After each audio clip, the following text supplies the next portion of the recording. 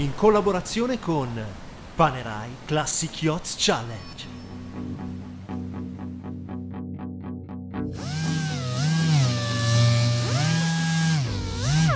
Ci ho quasi preso gusto, ma non è assolutamente il mio mestiere, anche se dà eh, piacere, dà gusto levigare un dugboard in carbonio, pinna stabilizzatrice per le barche da competizione. In questa puntata di The Boat Show parliamo di racing, non c'è una marina alle nostre spalle, ma tanta tecnologia che stimola la curiosità. Come vengono fatte le barche più veloci del mondo?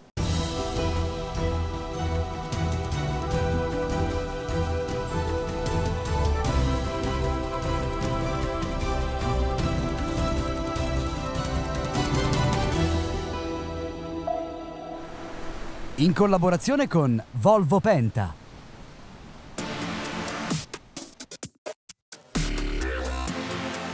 Amici di The Boat Show, ben ritrovati. Non siamo in una marina. Beh, lo vedete, alle mie spalle non c'è il mare, ma attenzione perché in questa puntata parliamo di tecnologia. Siamo a Nembro, in provincia di Bergamo, in un cantiere nautico dove viene lavorato il carbonio. Dunque siamo curiosi di capire cosa succede, come vengono realizzati i componenti che poi equipaggiano le barche dell'America's Cup, della Volvo Ocean Race, anche del Vende Globe. Oggi parleremo di fibra di carbonio, di autoclave, di forni, insomma quella che è la tecnologia che è alle spalle delle competizioni più estreme del mondo. Eccellenza italiana.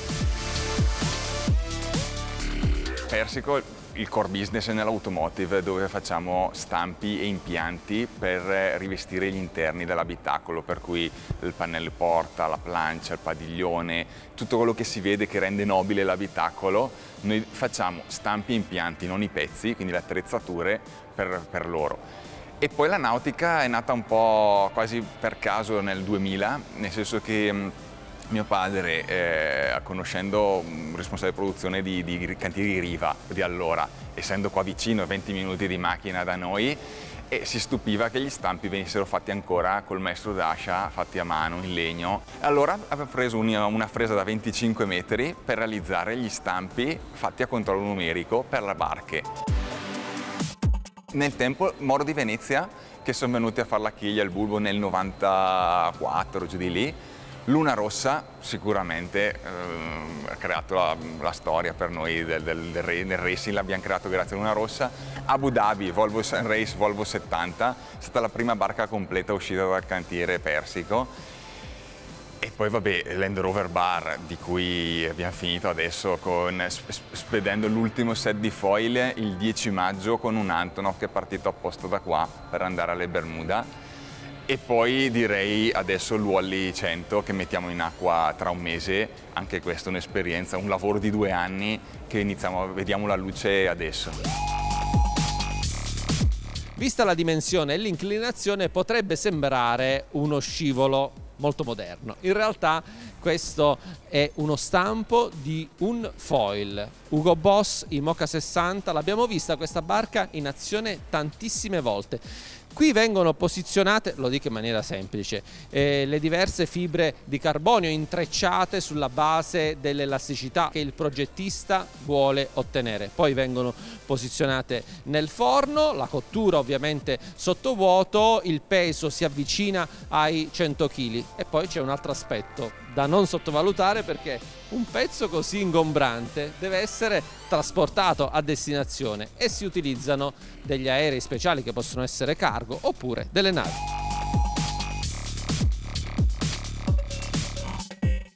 Bah, sicuramente credo che siamo un po' una, una, mosca bianca nella nautica con questo tipo di, di, di setup. Eh.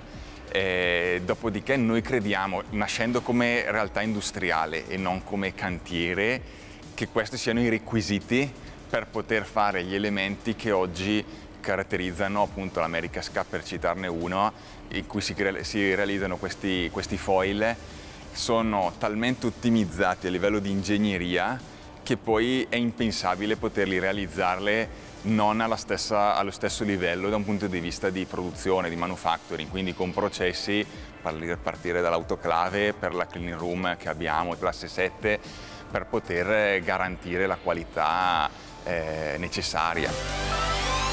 Escursione termica legata al carbonio. L'equazione ci dice che prima di essere lavorato in quest'area il carbonio viene custodito a meno un grado, ma prima ancora a meno 20 gradi. Allora, siccome noi siamo estremamente curiosi, Claudio mi dà questa giacca che è assolutamente necessaria e sufficiente per cercare di provare a congelarci. Ci proviamo? Andiamo.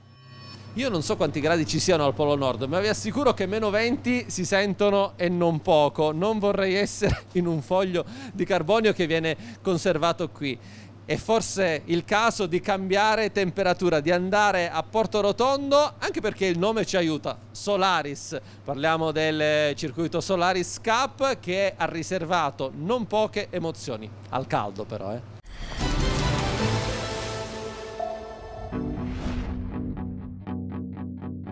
The Boat Show a Porto Rotondo per la terza edizione della Solaris Cup. Le barche iscritte sono 32, una passerella di tutti i modelli del cantiere friulano. La più nuova è Solaris 55.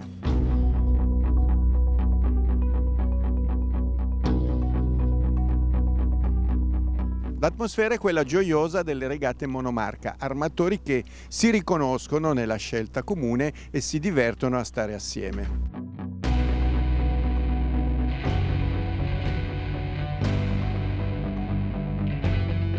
Solaris Fast Cruiser sempre più facili da usare, sempre più bottoni da schiacciare. Sì, sicuramente le barche da crociera si sono molto evolute negli ultimi anni. I winch elettrici hanno portato un grande vantaggio all'equipaggio, soprattutto in crociera, manovrare in sicurezza con il minor sforzo fisico possibile, quindi un gran vantaggio anche per le armatrici o le mogli degli armatori.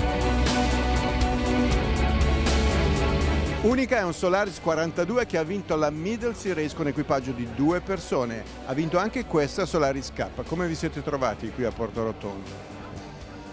We were very welcomed here. È piacevole essere qui.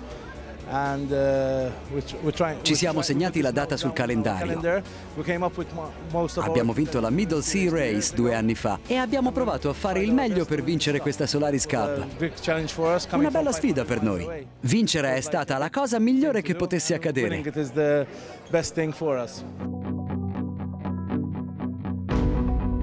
Il Solaris 42 sembra avere un po' più di velocità delle altre barche. Um, Solaris 42, la barca che abbiamo scelto, nasce da un ottimo design. Abbiamo fatto un check completo.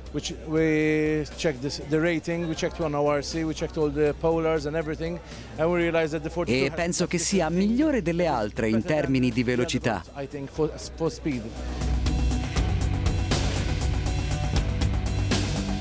Siete debuttanti alla Solaris Cup ma avete la barca più nuova, come vi siete trovati? Molto bene, è la prima volta che partecipiamo, è un evento favoloso, abbiamo provato e testato la barca per la prima volta, ottime performance direi.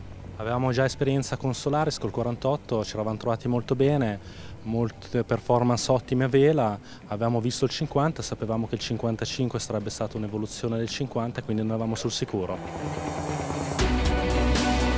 Che tipo di vela praticate? Siamo vera amatoriale direi, siamo io, mio padre e mia madre come equipaggio, ci piace molto navigare, facciamo lunghe distanze e volevamo una barca che fosse un fast cruiser. Italian Job è la barca che arriva da più lontano alla Solaris Cup, l'armatore infatti è scozzese, come mai qui? È la prima volta che veniamo alla Solaris Cup ed è stato entusiasmante. Buone condizioni di vento, bella gente. Ci siamo molto divertiti. Uh, we've really enjoyed it.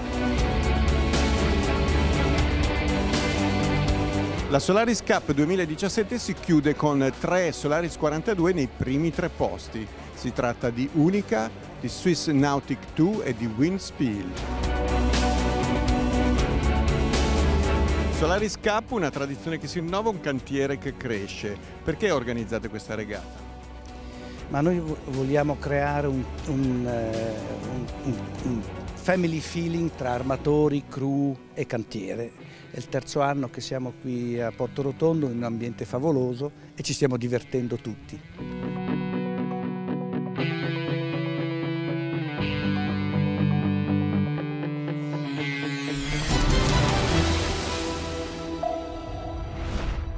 Nella storia della marineria mondiale una delle città emblema, simbolo è Southampton. Glenn è proprio di Southampton, coming from there. Coming from Southampton, yes. sì, però si trova a lavorare nelle valli bergamasche, avendo a che fare con i forni, con il carbonio. Eh, sono 16 anni che sono qui. Scommetto che hai anche una moglie italiana. Eh, quasi moglie, sì. Cosa ti dice? Co- come glielo racconti il tuo lavoro, no? lo- Col carbonio, con l'America's Cup, la Volvo Ocean Race. No, sto facendo questo lavoro per ormai 20, a- 20 anni. Eh, ho cominciato in Inghilterra da Green Marine, che è una cantiere famosa. Eh, poi con Green Marine sono venuto qui nel 2003 per lavorare per la seconda prova Luna Rossa. Um, dopodiché, conoscendo la gente in giro, mi sono richiamato qui per venire a Persico nel 2005, eh, facendo la, la terza coppa per Luna Rossa. Eh, dopo di quella ho trovato l'amore della mia vita. eh. Qual è il componente legato all'America's Cup o alla Volvo Ocean Race più strano che hai, che hai creato? Qui sono stati i, foil, Poi. sono i più complicati, più lavorati, sto lavorando a mezzo millimetri, decimi di un millimetro, è molto impegnativa.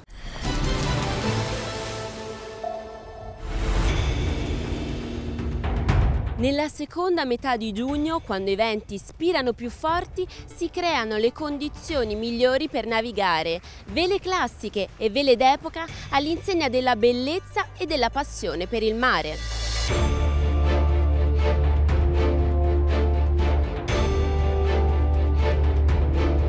Dopo le Voile d'Antibes in Mediterraneo, seconda tappa del Panerai Classic Yacht Challenge, Argentario Sailing Week.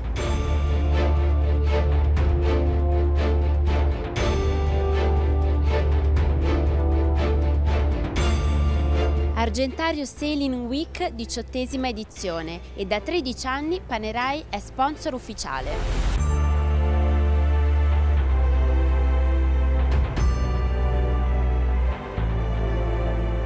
43 le imbarcazioni iscritte divise in Classic, Epoca, Big Boat and Spirit of Tradition.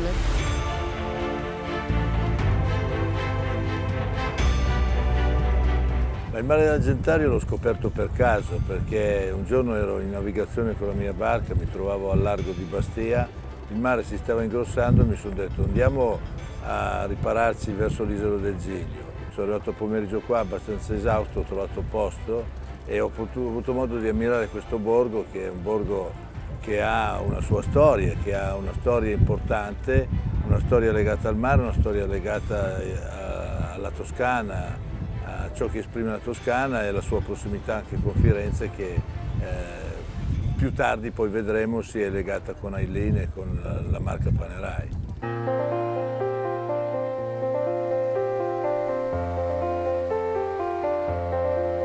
Eileen ha avuto una storia avventurosa. Nata nel 1936, stesso anno in cui Panerai ha messo in acqua Radiomir, il primo orologio subacqueo militare della storia. Eileen in gaelico significa piccola isola, un catch bermudiano di 22 metri nato nel 1936. Eileen si sposa con Panerai in modo perfetto perché c'è una storia, una storia di valori eh, dietro a questa imbarcazione, una storia di valori che poi fanno la storia anche recente, quanto fu trovata da noi eh, semiaffondata in mezzo alle mangrovie, ne abbiamo visto l'opportunità di ripristinare una parte della storia della marina internazionale, non solo nazionale della, della Scozia, perché questo costruttore ha saputo delle, esprimersi in, eh, con delle imbarcazioni incredibili. Lavorato quattro anni e abbiamo- l'abbiamo ricostruita ed eccola qua più splendente che mai.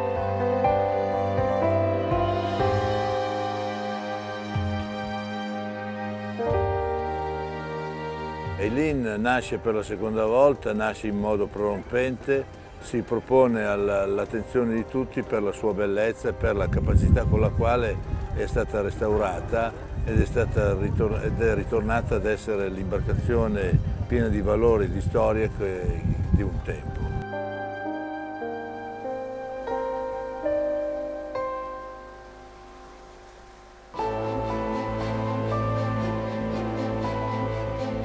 Argentario Sailing Week, le barche stanno per lasciare la banchina. Caroli, barca della Marina Militare del 1948, è stata di recente protagonista di un salvataggio. Navigare non vuol dire soltanto amore per il mare e passione, ma anche sicurezza e soprattutto solidarietà.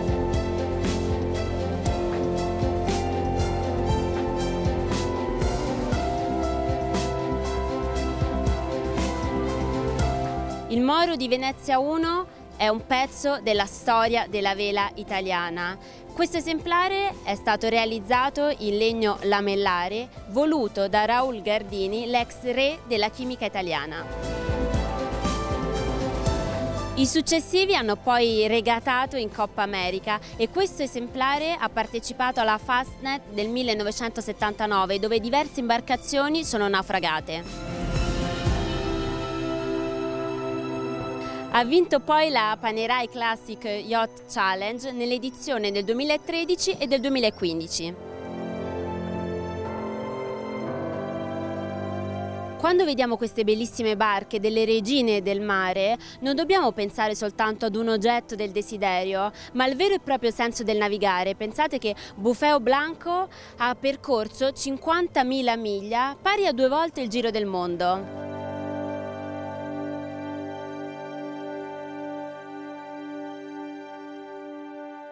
Il mare è un elemento mutevole, un elemento che ti dà gioia, ti dà dolore, ti dà preoccupazione, ti dà carica per ricostruire i, i tuoi pensieri. In navigazione soprattutto offre degli spunti alla tua mente, alla tua voglia di riflettere che sono impareggiabili. Io non ho mai trovato nella mia esperienza di marinaio, lasciatemi dire, un luogo in cui tu possa veramente essere te stesso e quindi godere di questa libertà che il mare ti offre.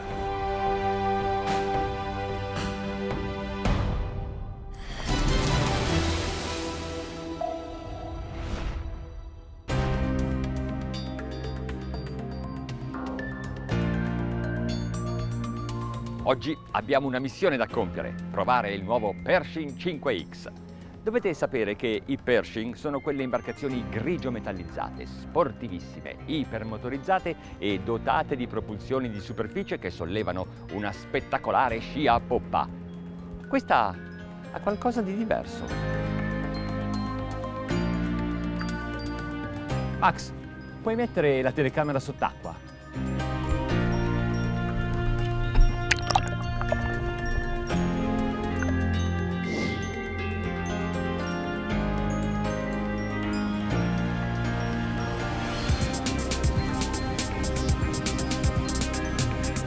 Hanno installato i motori Volvo Penta D11 da 725 cavalli con propulsione pod drive IPS. C'è il joystick di manovra. Beh, però è comodo, così è più facile uscire anche da un posto stretto come questo. Questo strumento ha diversi vantaggi, oltre al fatto di manovrare con assoluta precisione e facilità. Ad esempio c'è il Dynamic Position, che permette di tenere l'imbarcazione ferma in un determinato punto senza dover far nulla. Pensa da solo il sistema a controllare gli invertitori, gli acceleratori, per tenere la barca esattamente nel punto che avete stabilito. Poi c'è il Trim Assist che controlla l'assetto dinamico dell'imbarcazione, anche questo automatico. E infine il cruise control, come sulle auto, per mantenere sempre la stessa velocità. Insomma è un Pershing diverso dagli altri, sicuramente facile da manovrare anche per chi non ha una grande esperienza con le imbarcazioni.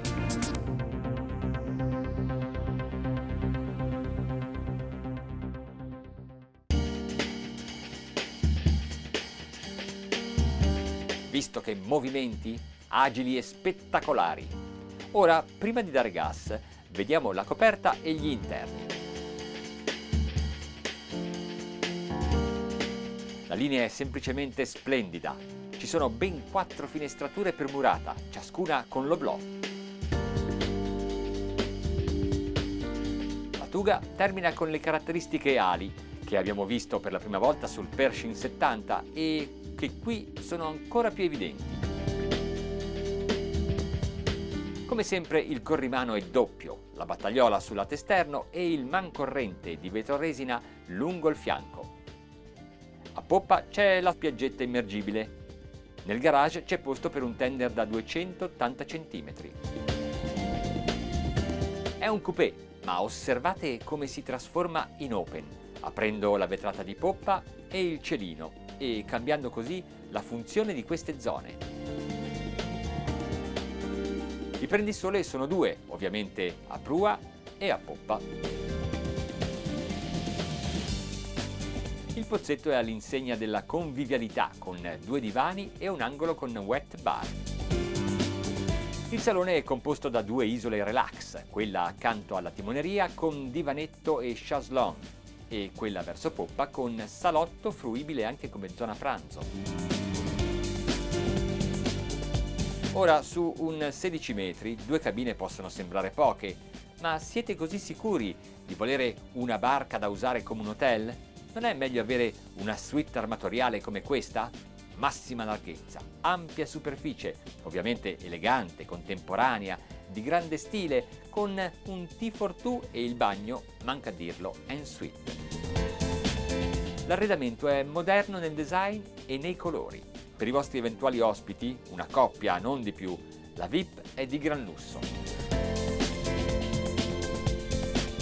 Su questo modello abbiamo la cucina e la dinette a centro scafo, ma al posto della zona pranzo potete trovare una terza cabina con letti a castello, oppure il locale per il marinaio, con accesso separato dal ponte di prua.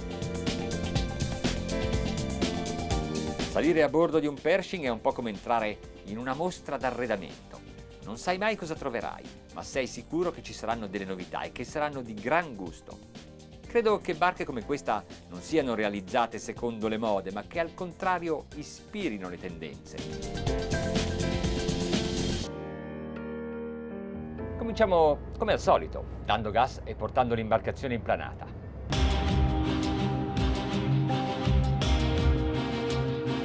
Partono le turbine, i giri salgono e l'imbarcazione, sì, si solleva in planata abbastanza rapidamente, ma Pershing è famosa soprattutto per le prestazioni. E allora, siete pronti? Via!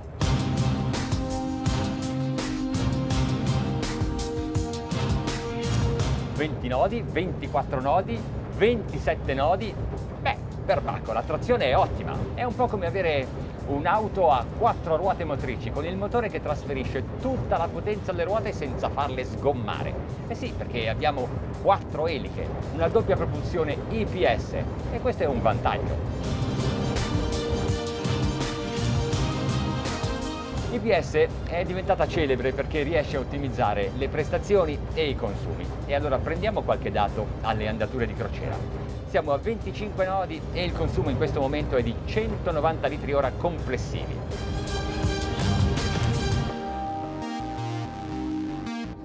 Adesso comincia a essere un po' più Pershing, mi piace perché siamo a 34 nodi e ho ancora un po' di gas, lo uso tutto.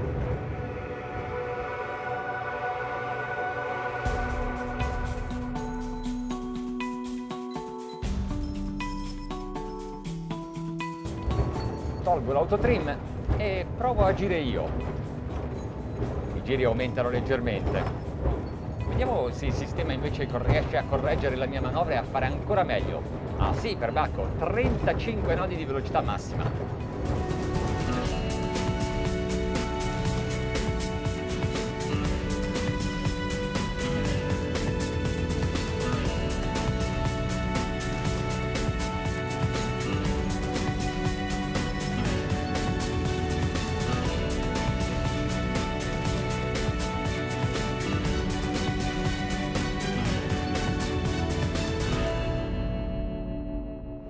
Un altro vantaggio di questo tipo di propulsione è la sua manovrabilità, non soltanto in porto ma anche in navigazione. Guardate la costata quanto è rapida.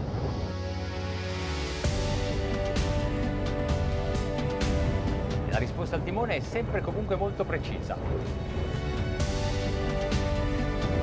Curioso, sono riusciti a tenere ferma la scritta Pershing anche mentre ruoto il timone.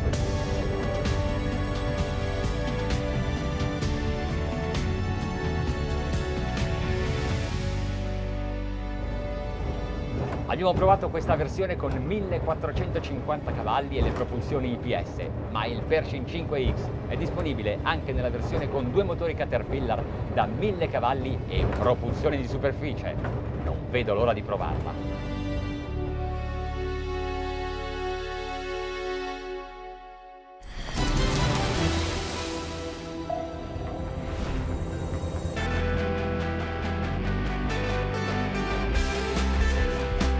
Tecnica e tecnologia, ma soprattutto tanta curiosità e la passione di chi lavora alle spalle di quello che è un mondo racing. Nello specifico abbiamo raccontato l'America's Cup, la Volvo Ocean Race, anche il Vende Globe.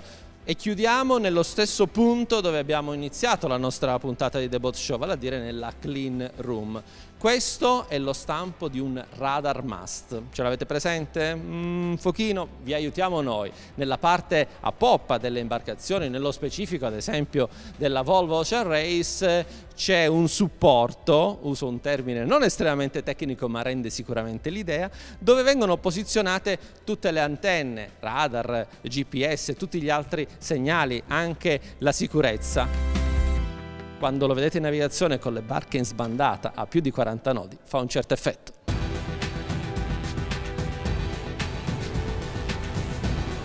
In collaborazione con Volvo Penta.